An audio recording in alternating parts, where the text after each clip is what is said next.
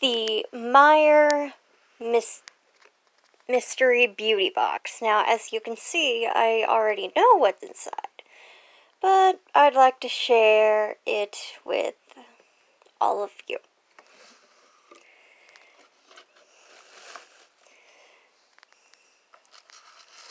Very nice paper. Let me just. Alright. We've got Palmer's coconut butter formula. Yes.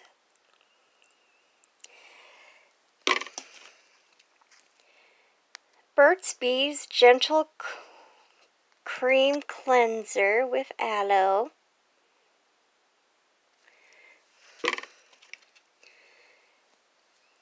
Garnier Skin Active Micellar Cleansing Water.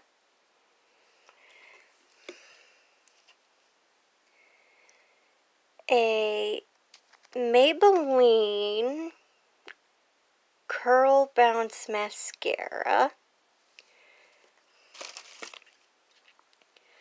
Coppertone Complete Face. I'm guessing sunscreen of some sort. Very good for when summer's still not over. Who else is ready for fall? and looks like some sort of. I'm guessing it's a sample for men's cologne. Could be an ad. and the last thing, Neutrogena Ultra Thin Blemish Patches.